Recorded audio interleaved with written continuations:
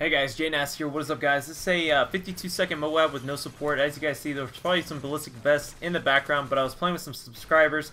I told them not to run support, and later in the gameplay, they uh, they stopped running support, and there will be no UAVs. No, I didn't pick up any V vests, so it's it's really without support at all.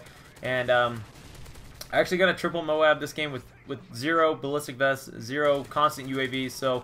Uh, I thought it was a pretty good gameplay. This is just the 52 second mode part. It could have been a little bit faster, but my aim was a little off.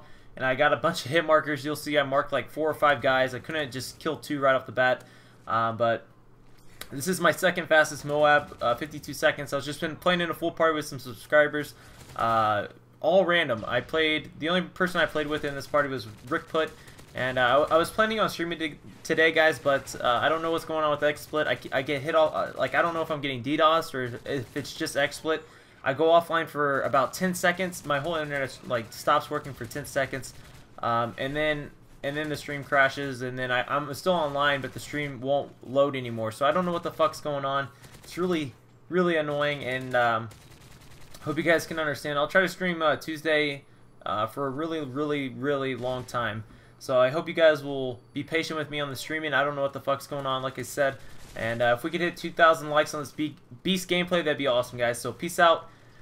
Slap bags. Fuck. I am mad.